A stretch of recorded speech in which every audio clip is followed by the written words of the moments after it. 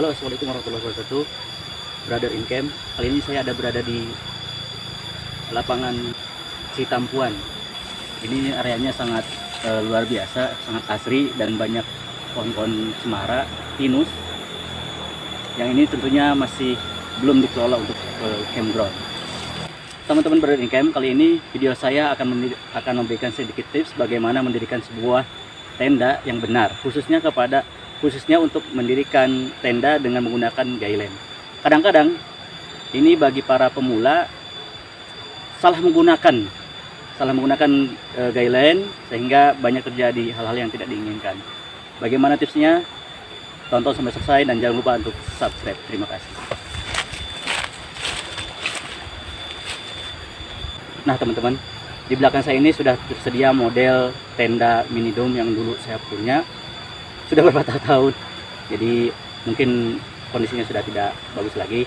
Tapi ada satu hal yang penting yang saya akan berikan eh, tips bahwa tidak semua tidak semuanya orang mengetahui apa itu eh, penggunaan dari guideline dan stop guideline. Yang saya yang saya pegang ini adalah guideline atau tali tenda. Dan yang ini hitam adalah eh, stopper guideline dan tidak semuanya tahu e, fungsi ini khususnya kepada orang-orang yang baru e, pemula tidak tahu apa penggunaan dari e, stopper guideline ini. Oke teman-teman kebanyakan orang khususnya bagi para pemula menggunakan guideline ini dan stopper guideline ini e, sembarangan. Maksudnya adalah tidak menggunakan guideline dengan tepat. Yakni biasanya para pemula menggunakan e, tali dan stopper guideline ini langsung ditalikan kepada patok entah itu menggunakan eh, simpul-simpul ataupun tali biasa.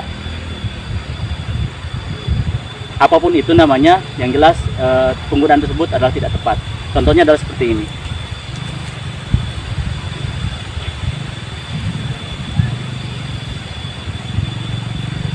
Contohnya adalah seperti ini. Ketika para eh, pemula yang baru membangun baru membangun tenda dan e, tidak tahu fungsi dari guideline, guideline dan stopper ini, maka dia menggunakan cukup ditalikan. Nah, dia cukup menalikan kepada patok, biasanya tali mati atau tali jangkar. Biasanya seperti itu.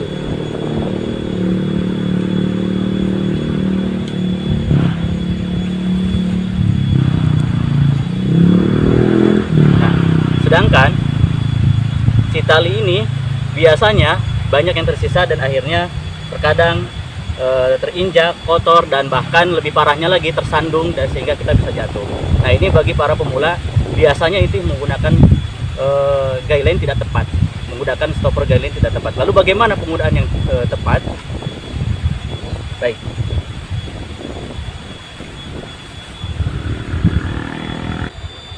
Nah teman-teman bagaimana menggunakannya secara tepat adalah kita bisa tarik uh, stopper ini langsung kepada patok. Langsung kita uh, rekatkan kepada patok. Patok.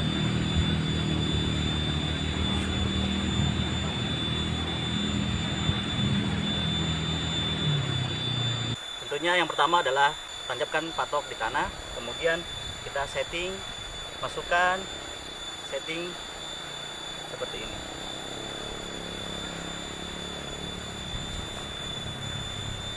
Kemudian injak patok. Baik kita coba yang sebelah sana. Kita gunakan uh, stop guideliner stopper guideliner kita coba sebelah sana kita coba ulangi.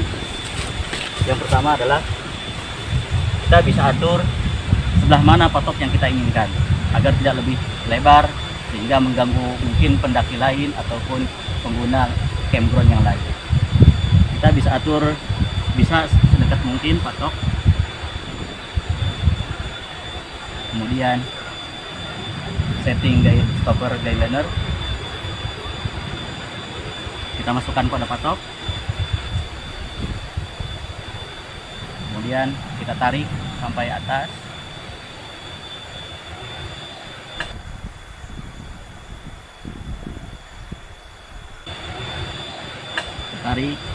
bisa kita langsung aja eh, ke hijab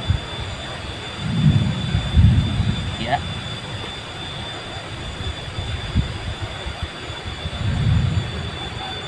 Ya. Beres. Seperti itu teman-teman. Jadi sebetulnya lebih mudah jika penggunaannya lebih tepat. Tidak menggunakan tali mati ataupun simpul-simpul yang lain.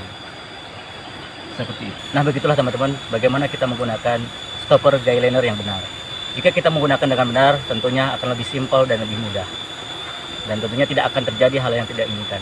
Mungkin hanya itu yang saya bisa sampaikan.